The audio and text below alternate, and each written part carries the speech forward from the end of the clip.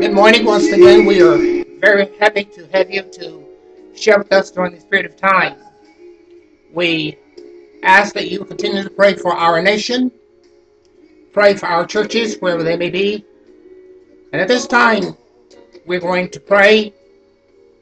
Almighty God, we come at this time thanking you for allowing us this opportunity to come once again. We pray, Almighty God, that you would teach us how to pray, how to love one another, how to forgive and be patient, and know that you're God. We pray for those less fortunate than we are today, Almighty God. Those, Almighty God, on their beds of affliction, those who are going through moments of bereavement. We ask, Almighty God, to continue to be with us, strengthen us, keep us as our prayer in the name of, we ask it all in the name of Jesus, our prayer forever. Amen. This morning, we're going to call your attentions to the book of the Judges, the 11th chapter, verses 1 through 11. The book of Judges, the 11th chapter, verses 1 through 11. We're going to talk this morning a setback for God's setup. A setback for God's setup. Things are not always as they seem, but God is able to take that seemingly bad situation and use it as a setup for a blessing. The way you start out is no indication of how the journey will conclude. And starting from behind does not mean that your destiny is inextricably bound to the back of the pack. That's the proven athletic fact. Ask any coach who has experience in the area of track and field.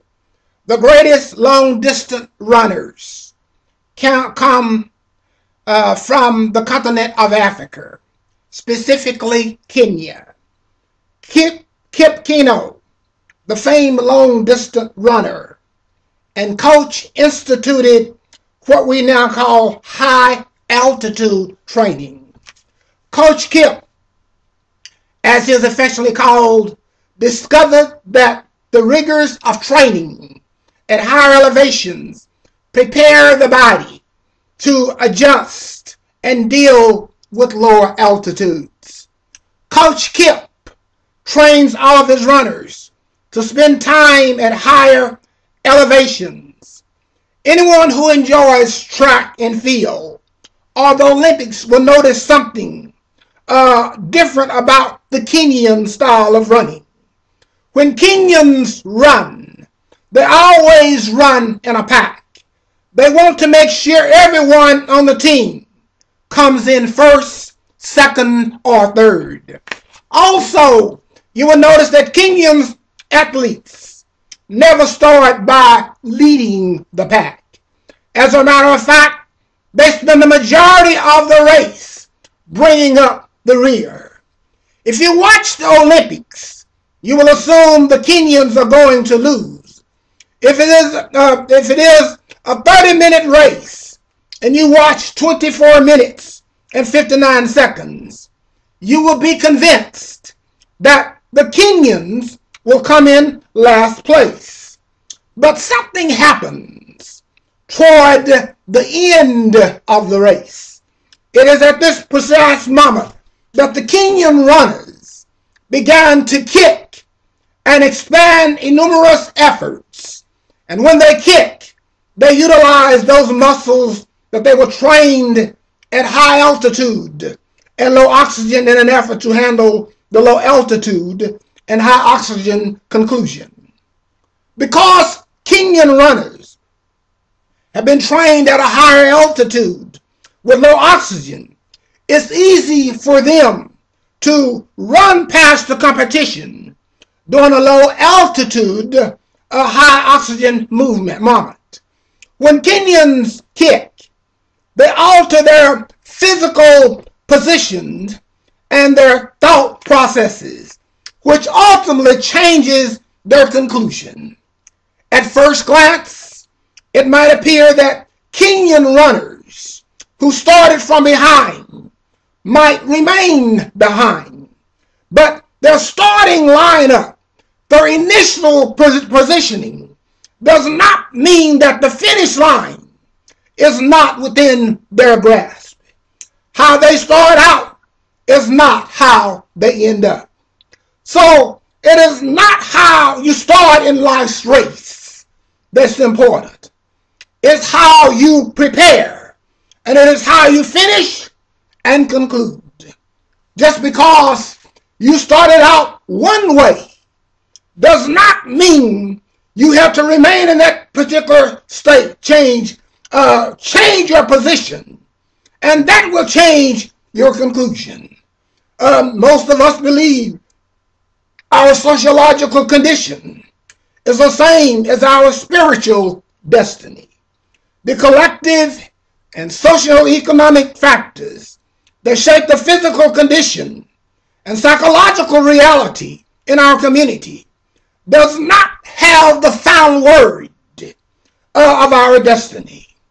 If your destiny is to do great social justice work for God, your family, your friends, and your co-workers, then ultra-conservative public policies have nothing to do with your destiny. The problem is we are uh, constantly tuned and dialed into the wrong frequency, forecasting our conclusions. Some times ago, as we were traveling in the Midwest, I listened to a weather report and I thought it was for Texas and it was for another area. I messed up. I got the weather report wrong. What I was listening to had nothing to do with where I was or my present reality. Are you getting what I'm talking about? That is exactly what the enemy does. The enemy wants you to listen to your past reports that have nothing to do with your present reality. Uh, just like the Kenyan runners, how they start running is not how they finish the race. So delete whatever the devil has downloaded into the computer chip of your brain. Your past is just the prologue and not the final chapter of your journey. Now, if you're willing to understand that God has a greater thing for you, then God can transform your life. According to our text, Jephthah was a mighty warrior who was the son of a prostitute. His father was Gilead, and his mother was a prostitute.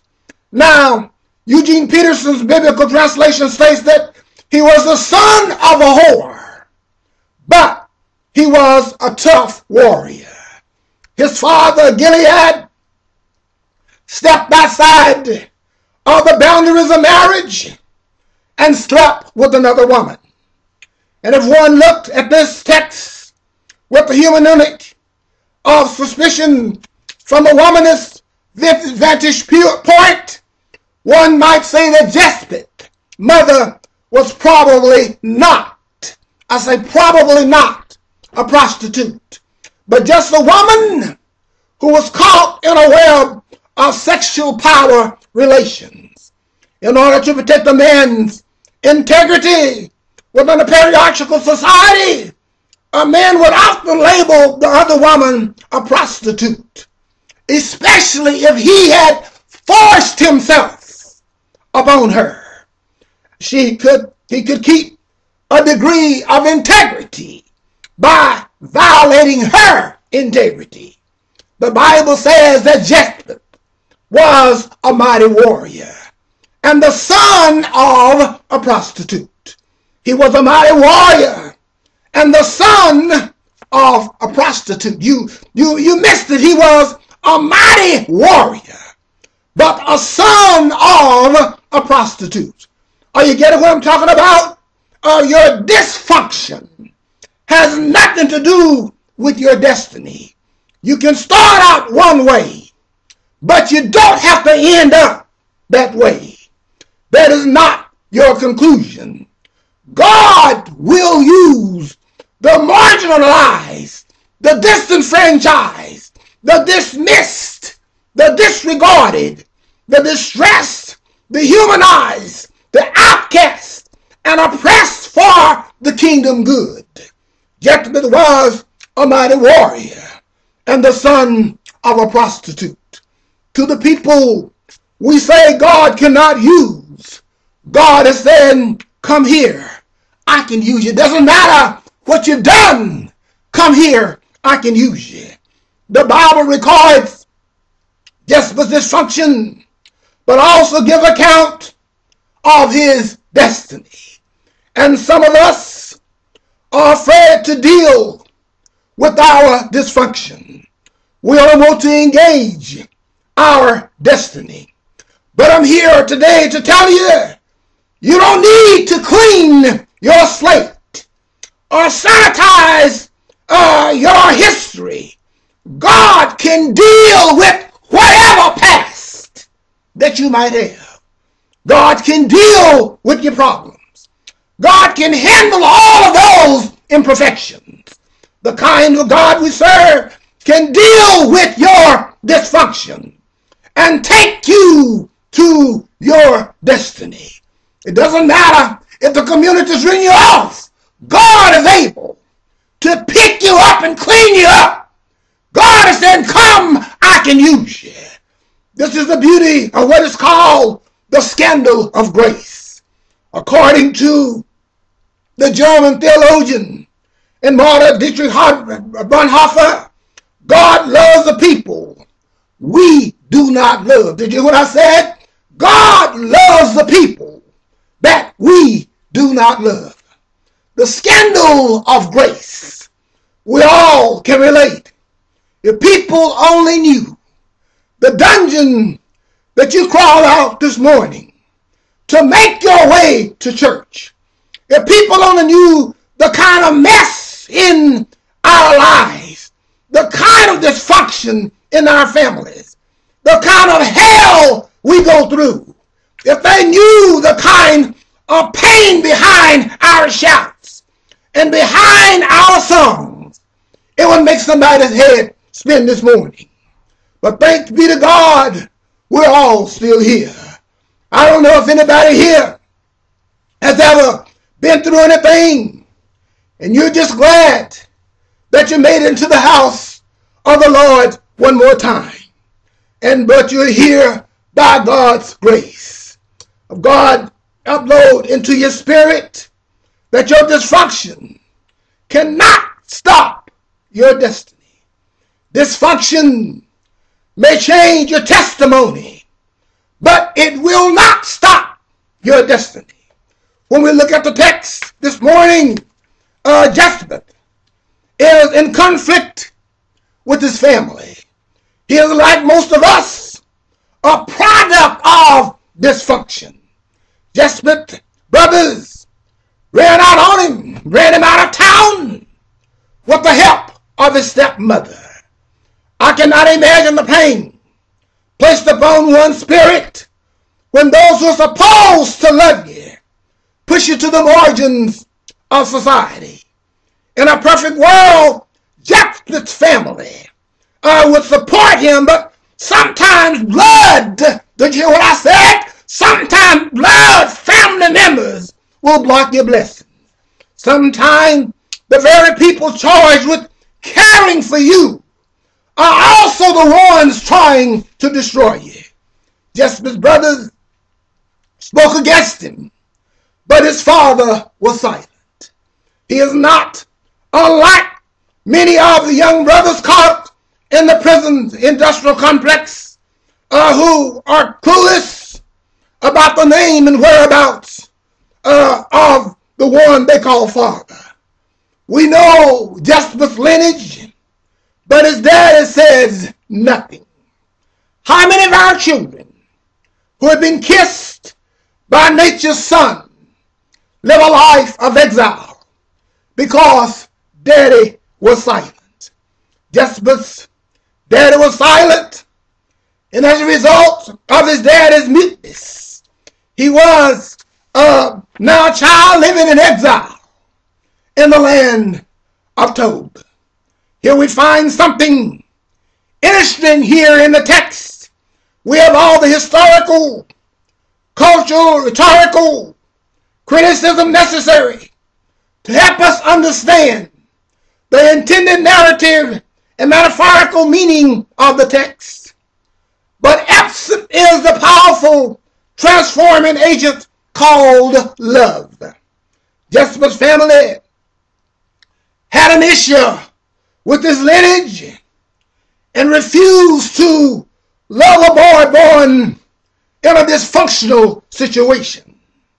Without love, our children live in exile. You can talk about lineage, you can talk about heritage, and you can talk about culture.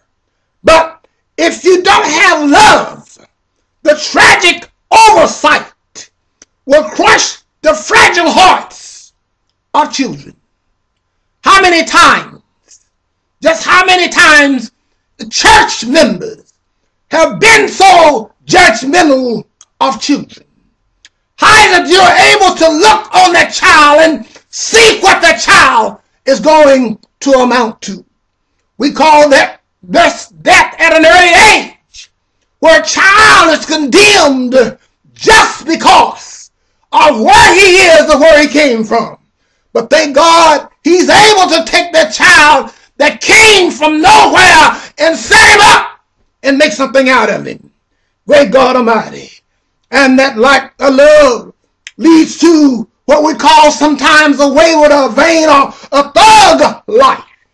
When love is removed from the equation, we're left with the children craving the very thing they've not received. Our society, even the church, does not like the word love. We like other words. We like blessings and anointing and going to the next level. We like seeds. We like to talk about God hooking us up. But love must come back home to take residence in our theological vocabularies. What the world needs now is love. The gospel is clear. Love is spiritual discipline. God is love and God has power and love has power. The missing element for this generation development is an understanding of divine love and self-love, freed from the limitations of market driven indulgences. One might call it old school. But old school love is like I came up, the kind of love that is rooted in community and commitment. The kind of love says, take your hat off when you come inside.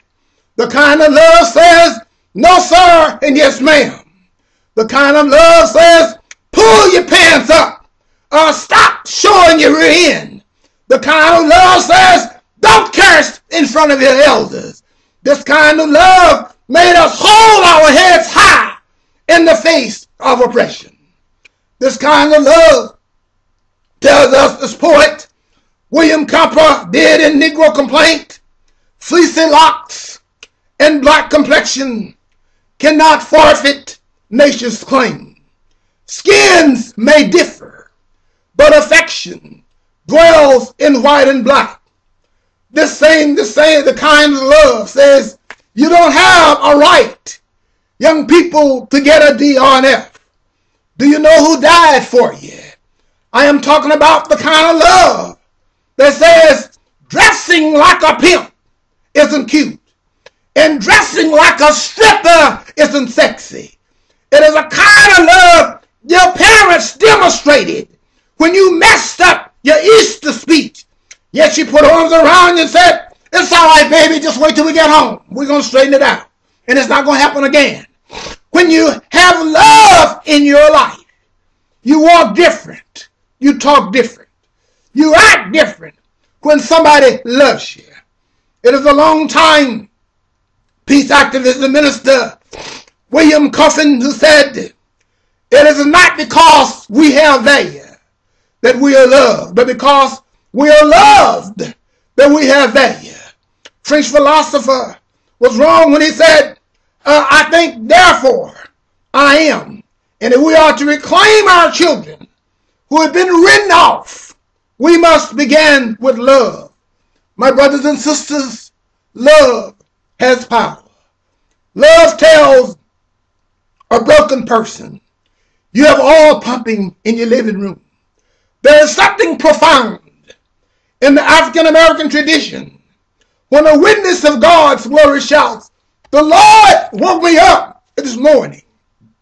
It is theological, a modern rep in this simple folk statement God's grace casts a shadowing a love shadow on a people economically exploited, uh, political abandoned, and theological demonized by Western culture. Yet God's concern is not redacted by race, class, or gender. God loves us enough to wake us up to fight another day. I'm not done in your life, says God. You still have things to do. And I stopped by this morning to tell you that God is not uh, done with you. You still have speeches to write. You still have books to author. You still have businesses to start. You have sermons to preach, letters to read, uh, children to inspire, poems to perform, food to cook, cures to create, bars to raise children to love, hurdles to jump, rivers to cross, and mountains to climb.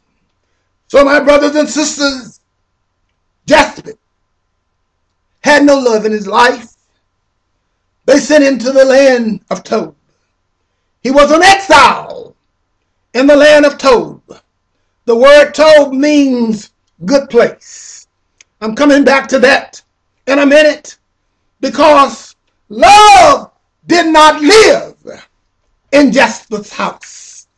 He was put on a path to a thug life. Remember, Jephthah was hated because of his lineage. His brother hated his heritage uh, his brother, his father was Gilead, but his mother, remember, was a prostitute. The brothers hated him because of his DNA. The brothers feared his heritage because when Jephthah became a man, he would be in position to upset the economic structure. His connection to his father meant he was in position to receive an inheritance. Jephthah's brothers had to disenfranchise him in order to protect the economic order, uh, inclusion of Jephthah in the boardroom meant a new distribution of the family wealth, and the brothers were not interested in sharing with Jephthah. We recognize Jephthah's pain because we have experienced the hatred of our heritage, our fleecy locks, and dark complexion, complexion points to our roots on the continent of Africa, the institution of slave codes, the Dred Scott decision, Plessy versus Ferguson, were all attempts to drive us into the land of Tob. It was not just color or lineage, but fear of losing power or having to share wealth with another member of the family. The text states that the brothers did not want to share their inheritance uh, with Jephthah. The brothers instituted their own segregation policy to protect their financial resources. Racism is not solely rooted in color, but it is a socially constructed demon the human demonetization of black culture designed to keep people of African descent uh, disempowered and separated from the institution of social economic empowerment. Jephthah was living uh, a thug life in Tob. The Bible states that he lived with vain people, uh, outlaws. Uh, the Hebrew meaning of Tob is a good place. It does not make sense for the place of excommunication and exile to be called good. But sometimes a setback is a setup for God to do something in your life. Even though his family did not want him, there were thugs who said, we will embrace you. We will love you. Uh, we are going to embrace you. We will train you. God will provide for you a new family uh, if your old one rejects you. When you go into some of the public restrooms, there's an interesting setup there. After you do what you came in there to do, the only way to get rid of the stuff in the urinal is to turn and walk away. And you can't flush it away.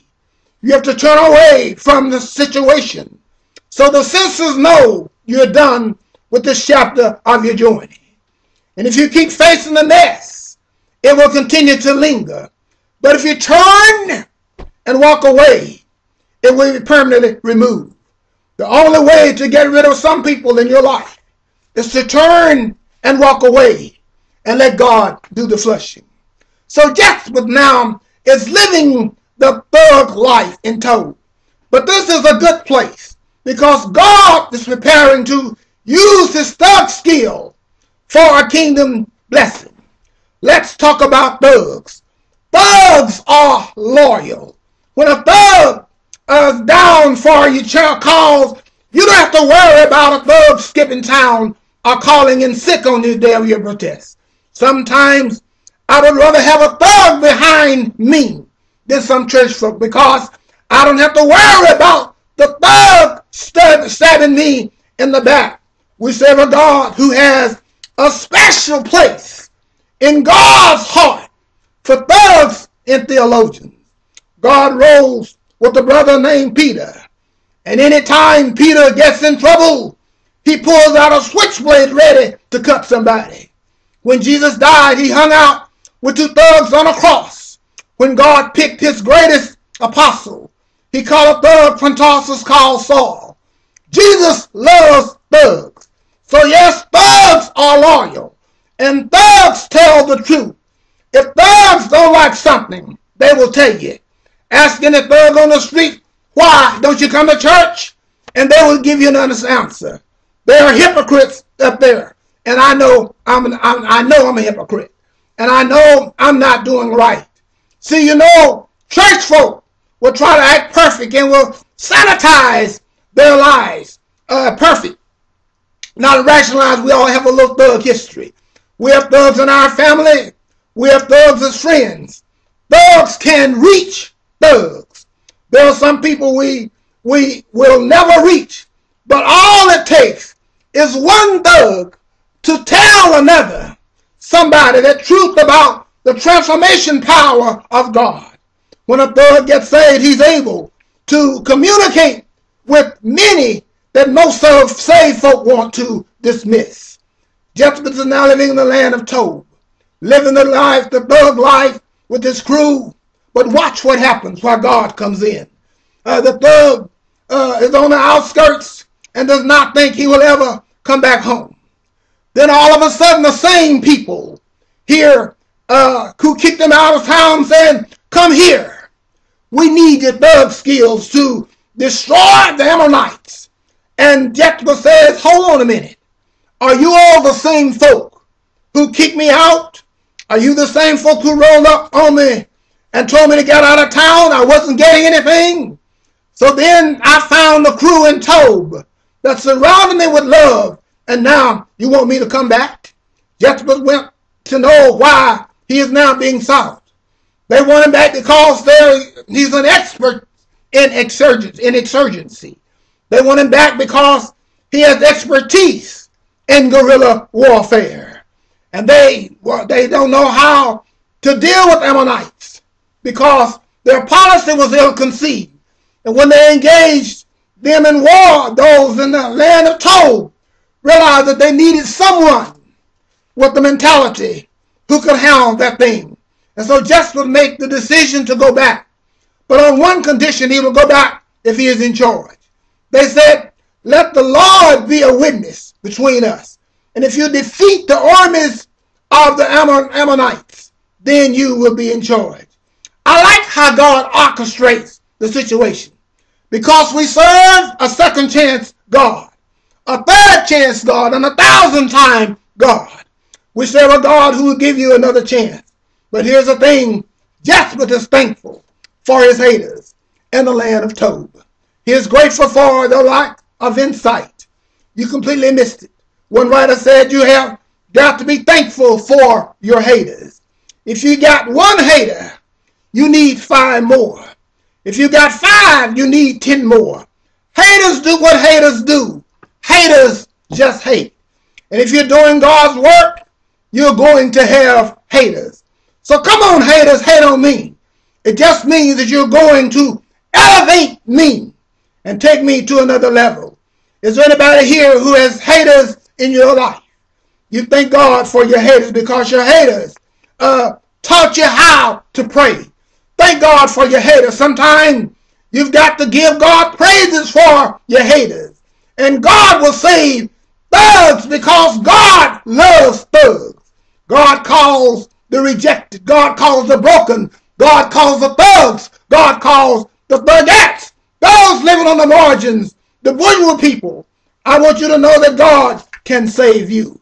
If God can save a drunk like Noah, if God can use a pimp like Abraham, if God can use a hustler like Jacob, if God can use a thugette like Deborah, if God can use a baller like Samson, if God can use a player like David, if God can use a player like Solomon, if God can use a ghetto soldier like Peter, and a roughneck like Paul, God can use, if he can use me, he can use you. That's what God is able to do today. He's able to see you through. Stop being so judgmental. You never know what you're going to come to before you leave here. As one thing for sure, we're leaving here. But who knows what you're going to need tomorrow.